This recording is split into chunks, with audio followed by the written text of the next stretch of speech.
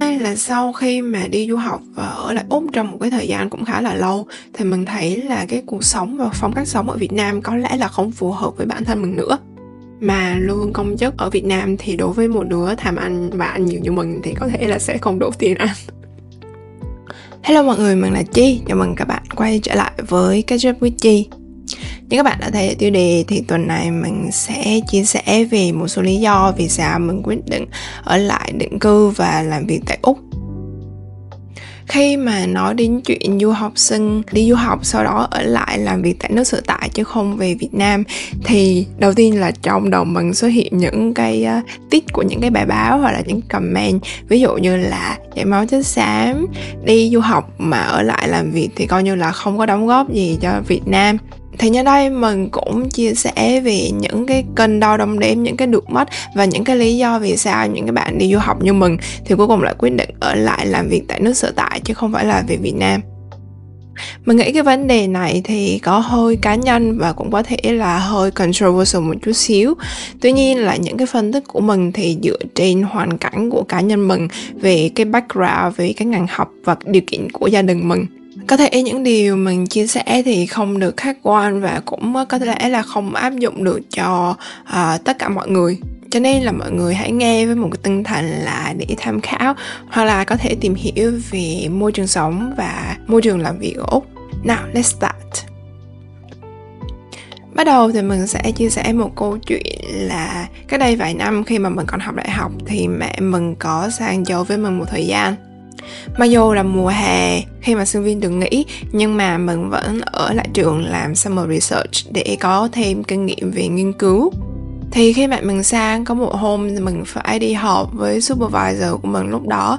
và cuộc họp thì bắt đầu lúc 11 giờ thì mình nghĩ là có thể là tầm 12 giờ gì đó là mình sẽ về nên là mình không dặn mẹ mình là à, đừng có chờ mình ăn cơm trưa. Nhưng mà cuối cùng thì à, trong cái cuộc họp đó mình và supervisor của mình thì phát hiện là có một cái bất một cái lỗi ở trong cái cốt thì phải sửa. Và mình đã sửa cái cốt đó ở trong office của supervisor của mình từ 11 giờ trưa cho đến tận 3 giờ chiều. Thì khi mình về mẹ mình mới hỏi là chả lẽ cả cô, cả trò không ăn cơm trưa mà làm việc xuyên trưa thì mình bảo là, đương nhiên rồi, bởi vì là cô đâu có nghĩ ăn trưa đâu, nên là con cũng đâu có nghĩ ăn trưa đâu. Thì như vậy là đến 3 giờ chiều mình mới về nhà và ăn cơm trưa. Trước đó khi mà ở Việt Nam thì mẹ mình cũng nghĩ là cho con đi du học ở một cái trường top đầu trên thế giới và sống ở một à, thành phố, cũng là một thành phố đáng sống nhất trên thế giới. Thì hẳn là cuộc sống rất là dễ dàng, rất là sung sướng nhưng mà khi mẹ mình qua đây trải nghiệm rồi thì mới thấy là sự thật thì không phải là như vậy. Ví dụ như là ở việt nam thì đi đâu cũng rất là tiện, có xe máy hoặc là có thể đi ô tô. Nhưng mà khi qua úc thì lúc đó là mình là sinh viên thì mình cũng chưa mua ô tô. Và nếu muốn đi đâu thì phải di chuyển bằng phương tiện công cộng. Thì từ nhà mình ra đến bến xe buýt thì cũng không xa lắm, nhưng mà đối với mẹ mình, so với khoảng cách khi mà ở việt nam thì cũng khá là xa rồi và nếu mà muốn đi chơi ở những nơi xa hơn, ví dụ như đi lên núi thì cũng phải đi và thay đổi nhiều cái phương tiện công cộng khác nhau, như là đi xe buýt, đi tram, rồi đi train thì mới đến nơi được. Do đó là ít nhất đối với cá nhân mình thì việc sinh sống và làm việc ở nước ngoài thì tất cả không phải là màu hồng để có một cái công việc tốt và có một cái cơ hội phát triển bản thân như ngày hôm nay thì dù là khi mà mình ở úc hay là khi còn ở việt nam thì mình cũng phải liên tục cố gắng. Và không chỉ là cố gắng trong ngày một ngày hai mà là cố gắng trong cả một quá trình cả một thời gian dài.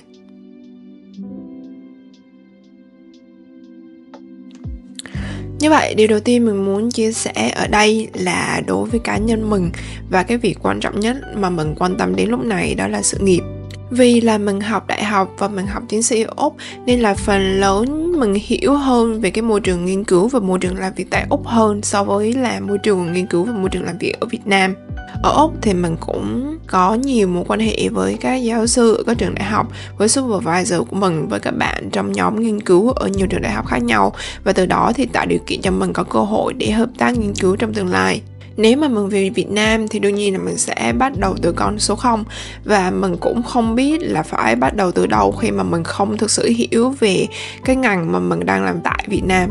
thường là nếu các bạn mà học xong tiến sĩ á, thì khi về Việt Nam thì 90% là sẽ làm việc trong các trường đại học. Và dù ở đâu nếu các bạn không có, có mối quan hệ không có sự support thì cũng khá là khó cho một người mà mới tốt nghiệp tiến sĩ để phát triển. Ví dụ như là thành lập một cái nhóm nghiên cứu của riêng mình hoặc là tìm funding để hỗ trợ cho công việc nghiên cứu. Riêng cái ngành water của mình đặc biệt là về mảng hydrodynamic modeling thì mình cần rất nhiều dữ liệu, các loại dữ liệu, ví dụ như là dữ liệu vệ tinh dữ liệu về climate, các dữ liệu về đo lường dòng chảy trên sông suối. Thì tại Úc, tất cả các loại dữ liệu đó đều được cung cấp miễn phí cho những nhà nghiên cứu hoặc là đối với những người bình thường thì đều có thể lên website của cục khí tượng để download. Tuy nhiên là khi mà mình tìm hiểu những cái loại dữ liệu đó ở Việt Nam, ở trang web của cục khí tượng Việt Nam thì không có sẵn ví dụ như là năm ngoái khi mà mình muốn làm một cái presentation về trận lũ ở Đà Nẵng vào tháng 10 năm 2022 thì mình cũng lên những cái trang web của cục khí tượng và thậm chí là mình lên trong kho data, dữ liệu mega data của World Bank. Thì mình thấy là những cái dữ liệu đó đã dừng cung cấp từ năm 2018 như vậy là khi mà về Việt Nam chỉ riêng về việc tổng hợp dữ liệu thôi thì cũng đã tốn rất là nhiều thời gian rồi. Và các bạn cũng biết là nếu muốn xin dữ liệu ở Việt Nam thì cần phải đi qua rất là nhiều quy trình, chứ không giống như ở Úc thì các bạn có thể order data và sau đó trả tiền để nhận được cái data mà các bạn cần mình cũng có nghiên cứu và hỏi một vài người bạn của mình, không phải là làm những cái dự án ở Việt Nam mà làm những cái dự án trong ngành của mình ở các nước như là Thái Lan hay là Philippines. Thì mọi người cũng nói là cái việc tổng kết và xử lý dữ liệu ở các nước Đông Nam Á thì tốn rất là nhiều thời gian. Thậm chí là có những bạn làm PhD thì dành nguyên một năm chỉ để tổng hợp dữ liệu và xử lý dữ liệu thành những cái dữ liệu có thể dùng được. Thêm nữa là nếu các bạn có xem tập podcast mình phỏng vấn chị Nguyên về vấn đề là học xong PhD thì nên về hay ở thì chị Nguyên cũng nói là khi mà mình học ở Úc thì có thể là những cái kiến thức mà mình học ở Úc không thể áp dụng được ở Việt Nam thì mình cũng phải cần tìm và cũng tốn một cái thời gian để có thể thích ứng với cái môi trường làm việc ở Việt Nam. Khi mà dữ liệu, thiết bị và cái nguồn kinh phí cho việc nghiên cứu cũng có thiếu thốn hơn thêm một điểm nữa khi mà mình cân nhắc về cái việc có nên về Việt Nam hay không là mình cũng tìm hiểu xem những cái quỹ dành cho nghiên cứu ở Việt Nam thì cũng khá là giới hạn ví dụ hiện tại mình làm trong một cái dự án lũ lụt và cái nguồn kinh phí cho cái dự án đó là 12 triệu đô, thì nhóm nghiên cứu của mình cũng có rất là nhiều cơ hội để tiếp cận với những phần mềm mới, những cái thiết bị mới. Có thể order những cái data mà có thể là khi mà mình về Việt Nam thì mình sẽ không có cơ hội để tiếp cận với những cái nguồn dữ liệu và những cái phương pháp nghiên cứu đó. Và thậm chí thì mọi người cũng biết là trong nghiên cứu, nếu mà không có tiền thì có rất nhiều nghiên cứu không thể thực hiện được khi mà mình còn làm việc ở Monash hoặc là hiện tại khi mà mình làm việc ở CSIRO thì mình cũng được tiếp xúc với những cái giáo sư đầu ngành và tiếp xúc, học hỏi từ những cái đồng nghiệp của mình Tuy nhiên là đối với mình lúc này, khi mà mình vẫn chưa có nhiều kinh nghiệm trong việc nghiên cứu, thì lựa chọn ở lại Úc là cái option tốt nhất cho mình. Khía cạnh thứ hai mà mình consider khi mà mình quyết định ở lại úc làm việc và định cư đó là về mặt chất lượng cuộc sống. Khi mà mình đi du học, ngoài những cái việc quan trọng như là lấy được bằng đại học và lấy được bằng tiến sĩ, thì việc mà sống tự lập, độc lập và tự do cũng tạo cho mình nhiều cái cơ hội cọ sát và trưởng thành hơn dần dần sau một cái thời gian học tập và làm việc tại úc thì mình cũng học cách chịu trách nhiệm với những cái quyết định của bản thân mình. Bản thân mình khi qua úc thì mình cũng thấy là mình sống khá là tự lập và gần như là mình không có dựa dẫm vào bố mẹ mình về mặt tài chính.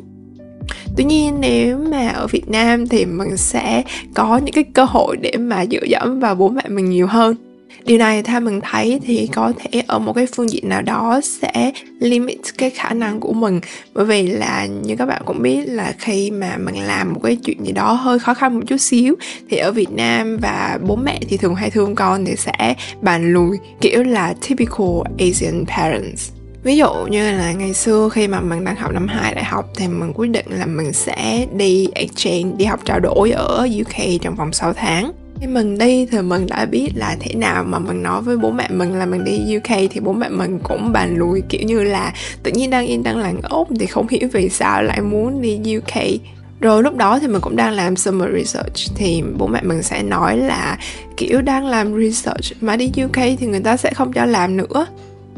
Rồi lúc này thì là thời gian phải tập trung cho việc học chứ không phải là à, thích đi chơi và thế nào cũng khuyên mình là thôi đừng đi, vì sau này sẽ có nhiều cơ hội để đi du lịch hơn chẳng hạn. Bởi vì là mình biết như vậy nên là mình đã chuẩn bị gần hết là tất cả mọi thứ, từ là việc học đến việc ăn ở và cũng thậm chí là mua cả vé máy bay rồi. Thì sau đó mình mới nói với bố mẹ mình là mình sẽ đi UK vào kỳ sau và đi học trao đổi trong vòng 6 tháng. Thì y như rằng là sau khi nói với bố mẹ thì bố mẹ mình khuyên mình là đừng có nên đi nhưng mà các bạn thử nghĩ đi là đối với mình sau khi mình đã đi làm rồi, thì chắc chắn là mình sẽ không có thời gian để có thể là trải nghiệm cuộc sống ở một đất nước khác và tìm hiểu về cái nền văn hóa của đất nước đó. Thậm chí là bây giờ thì mình còn đi làm sắp mặt ra chứ đừng có nói là có thể xin nghỉ được 6 tháng để mà đi chơi hay là đi du lịch ở một nước nào đó và thực sự là cái chuyến đi trao đổi khi mà mình học đại học để lại cho mình rất là nhiều experience. Và mình cũng có cơ hội để tiếp xúc với cái nền văn hóa từ các nước khác nhau, gặp gỡ các bạn từ các nước khác nhau khi mà mình đi học. Mình cũng được đi đây, đi đó và kiểu là chỉ đi 6 tháng thôi nhưng mà mình thấy cảm giác là bản thân mình lớn lên hẳn luôn á. Hoặc là nếu mà mình, trong thời điểm hiện tại mình đang ở Việt Nam thì có lẽ là cũng không có kênh YouTube này ví dụ như là khi mình làm những cái video đầu tiên thì cũng không có nhiều người xem cho lắm, thì mọi người sẽ khuyên là thôi, vì sao lại tốn nhiều thời gian quá? Mới đầu thì cũng đâu có được gì đâu, cũng đâu có ai xem đâu. Như vậy là nếu mà mình nghe khá là nhiều những cái ý kiến như vậy thì có thể là mình đã nản và mình đã từ bỏ từ sớm rồi. Thì cuộc sống độc lập và cuộc sống tự lập ở thời điểm hiện tại đã dạy cho mình kiên định với những cái quyết định mà mình lựa chọn và một khi mình đã quyết định làm cái việc gì đó rồi thì mình cũng khá là cố gắng và thường rất là hiếm khi mà mình từ bỏ giữa chừng. Thứ hai là sau khi mà đi du học và ở lại úc trong một cái thời gian cũng khá là lâu thì mình thấy là cái cuộc sống và phong cách sống ở việt nam có lẽ là không phù hợp với bản thân mình nữa. Không biết là có bạn nào đã xem một cái bộ phim Trung Quốc tên là 30 chưa phải là hết trong phim thì có một nhân vật do chị Giang Sở Ảnh đóng.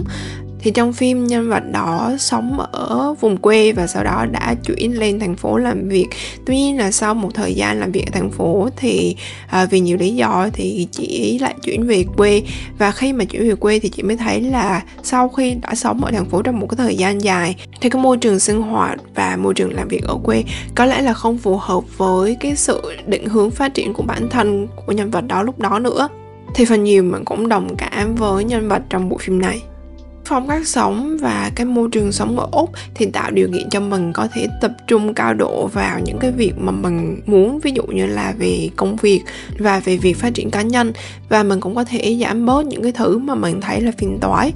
Ví dụ như là về việc ăn uống ở Việt Nam so với việc ăn uống ở Úc đi. Thì khi mà ở Việt Nam thì mình thấy là bố mẹ mình ngày nào cũng phải đi chợ cũng phải nấu cơm. Khi mà mình ở Úc á, thì mình chỉ đi chợ một tuần một lần và thường là mình nấu hai hoặc là ba lần để ăn cho cả tuần đúng là cái việc đi chợ thường xuyên ở Việt Nam thì sẽ ăn được đồ ăn ngon hơn. Tuy nhiên, mọi người nghĩ đi, một ngày chỉ có 24 tiếng. Và nếu mà mình dành khoảng 3 đến 4 tiếng cho việc nấu nướng và ăn uống, thì mình sẽ không có nhiều thời gian để học những thứ khác. Hoặc là thậm chí cũng không có thời gian để làm YouTube chẳng hạn mà đó là mình chưa có gia đình, mình chưa có con nhỏ. Còn nếu mà mình có gia đình và có con nhỏ ở Việt Nam, thì mình phần lớn sẽ phải hy sinh toàn bộ cái thời gian để phát triển cá nhân, thời gian rảnh rỗi của mình để chăm sóc cho gia đình khi mà mình về Việt Nam một thời gian thì mình cũng quan sát thấy là môi trường làm việc ở Việt Nam có thể là không phù hợp với tính cách của mình nữa. Ví dụ tính cách của mình khá là thẳng thắn. Nếu có ai trong team đồng nghiệp mình thậm chí là sếp mình uh, có ý kiến sai hoặc là ý kiến trái chiều về một cái vấn đề nào đó mặc dù mình không có góp ý một cách thẳng thắn trực tiếp nhưng mà mình cũng sẽ tìm cách để góp ý hoặc là mình tìm cách để giải thích là những cái ý kiến của mình là đúng tuy nhiên là việc này nếu mà ở việt nam, nếu cư xử không khéo léo thì có thể bị xem là gây bất đồng với đồng nghiệp, thậm chí là có thể bị mọi người cho rằng là không biết cách cư xử chẳng hạn. Trong bất kỳ cái môi trường làm việc nào thì mình nghĩ cái việc giao tiếp và cái việc xã giao cũng là điều cần thiết. Tuy nhiên là ở úc thì cái việc xã giao đó cũng ít hơn. Phần lớn thì mình thấy là mọi người phân định khá là rạch ròi giữa công việc và những cái việc liên quan đến việc cá nhân do đó là nếu mà về việt nam khi mà phải quan tâm và phải chú ý đến cái việc xã giao quá là nhiều thì mình cũng sẽ thấy là bị distract và có thể là cũng mất thời gian để mình thích ứng trong cái môi trường làm việc như vậy. Nhưng mà ngược lại, khi ở úc thì mình cũng mất khá là nhiều thứ và cái điều mà mình thấy rõ ràng nhất là mình sẽ không có nhiều thời gian để ở gần với gia đình và ở gần với bố mẹ mình ở Việt Nam thì mình có nhà ở ổn định, thoải mái. Trong khi ở Úc thì mình phải trả một số tiền cũng khá khá lớn để thuê nhà. Hơn nữa là còn phải share chung với bạn, chung nhà với mình. Thì đương nhiên là cái việc ở share nhà thì chắc chắn sẽ không thể nào thoải mái như khi là mình ở nhà với bố mẹ mình ở Việt Nam được và khi ở đây một mình thì mình cũng phải học cách sửa chữa những cái vật dụng trong nhà. Vì nhiều khi những cái thứ hỏng thì không thể nào dễ dàng đem ra ngoài tiệm sửa giống như ở Việt Nam. Nói đơn giản như là vì mình đi xe đạp, nếu mà xe đạp lúc xe của mình bị hư mà mình mang ra ngoài tiệm sửa thì có thể tốn đến hàng triệu để mà sửa xe đạp. Trong khi ở Việt Nam thì những cái việc đó rất là đơn giản và rất là dễ dàng một điểm nữa là về các mối quan hệ cá nhân và bạn bè. Thì mình thấy là nếu mà một bạn từ việt nam sang úc làm việc thì sẽ thấy mọi người ở úc khá là lạnh nhạt, kiểu việc ai người nấy lo. Như mình đã nói thì phần nhiều là khi đi làm, mọi người cũng ít khi quan tâm đến chuyện cá nhân của nhau, trừ trường hợp là rất là thân thiết. Cùng lắm thì cả năm cơ quan sẽ đi ăn chung với nhau khoảng một hai lần. Sẽ không có những chuyện như là hộ chị em trong công ty rủ nhau đi mua sắm Hoặc là Tết nhất đến thăm nhà đồng nghiệp. Và khi quyết định ở lại Úc thì mình cũng thấy khó khăn hơn trong việc uh, keep in touch giữ những cái mối quan hệ của mình với các bạn của mình ở Việt Nam hoặc là các bạn của mình đã học ở Úc mà bây giờ về Việt Nam sinh sống mặc dù thì ngày xưa rất là thân thiết nhưng mà bây giờ vì mỗi người có một cái cuộc sống riêng thì mình thấy là cái việc lâu lâu có thời gian trò chuyện hoặc là mỗi lần mình về Việt Nam có cơ hội để gặp các bạn của mình thì như vậy cũng đã là rất là tốt rồi. Dù sao thì hiện tại mình cũng thấy là mình có thể blend well với môi trường uh, sinh sống và làm việc tại úc mặc dù có thể không quá thân thiết với đồng nghiệp và cũng có ít bạn bè hơn, tuy nhiên điều này mình thấy là cũng giúp mình tránh được những cái phiền toái không đáng có. Và từ đó là mình cũng có nhiều thời gian để tập trung phát triển bản thân của mình hơn.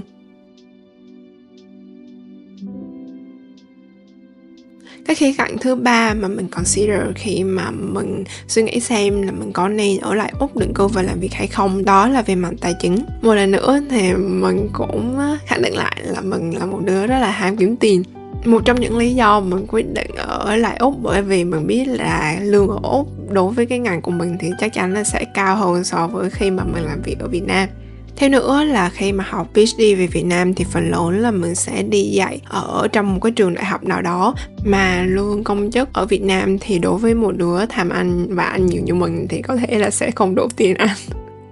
Mình đùa thôi, nhưng mà về cái mặt bằng chung thì lương trong ngành academic theo mình đánh giá về mặt bằng chung là ở mức trung bình khá nghĩa là cái tiền lương mà mình nhận được hàng tháng thì mình có thể chi trả cho các khoản chi phí ăn uống đi lại, thuê nhà ở và có một cái khoản dư để tiết kiệm. Rất tiếc là ở Việt Nam nếu là một giảng viên đại học chỉ làm trong trường đại học thôi thì mình nghĩ là cái lương công chức cũng khá là thấp để có thể sống một cuộc sống thoải mái và phần lớn những cái người bạn của mình làm ở trường đại học thì thường phải đi dạy thêm hoặc là có một cái nghề tay trái để có thể có một cái cuộc sống ổn định và có một cái mức lương khá hơn. Nhưng mà nói đi thì cũng phải nói lại, bởi vì hiện tại thì vật giá ở úc khá là đắt đỏ, từ việc ăn uống đi lại hoặc là tiền thuê nhà thì cũng cao hơn ở việt nam khá là nhiều lần khi ở úc, nếu mà muốn mua nhà đối với một người trẻ mới đi làm như mình thì cũng khá là khó khăn vì mình phải vay một cái khoản vay rất là lớn từ ngân hàng. Và hàng tháng phải tiết kiệm để trả cả gốc lẫn lãi. Và thường thường thì mình thấy là cái thời gian trả tiền thì cũng phải từ 20 đến 30 năm điều này thì mình thấy cũng khá là giống so với các bạn trẻ ở Việt Nam. Bởi vì là nếu ở Việt Nam bây giờ nếu không có gia đình hỗ trợ, hoặc là nếu các bạn làm một công việc có một mức lương khá, thì cũng rất khó khăn mới có thể mua được nhà. Tóm lại, ở phần tài chính thì mình nghĩ là mức lương của mình ở Úc thì cũng thuộc dạng trung bình khá. Tuy nhiên là mình vẫn phải biết cách đầu tư và biết cách chi tiêu một cách tiết kiệm. Chứ không có nghĩa là đi làm ở nước ngoài thì kiếm được rất nhiều tiền, Hoặc là sống một cuộc sống giàu có, sung túc như nhiều bạn vẫn nghĩ. Mình nghĩ là mình sẽ dừng cái podcast của mình ngày hôm nay tại đây thì trên đây chỉ là những cái cân đo đồng điểm của mình trước khi mà mình quyết định ở lại úc làm việc và định cư. Thì mình cũng nhắc lại một lần nữa là những cái phân tích này dựa trên cái hoàn cảnh cá nhân và cái điều kiện công việc của mình. Hy vọng là mọi người có thể tìm thấy đâu đó một vài cái thông tin hữu ích hoặc là mọi người cũng có thể tìm hiểu thêm về cuộc sống ở úc uh, trong một cái đối tượng là làm trong ngành academic như mình. Hẹn gặp lại các bạn trong các tập podcast tiếp theo trên kênh Unordinary Researchers. Đừng quên nhấn like, share and subscribe để ủng hộ mình ra các podcast tiếp theo. Bye!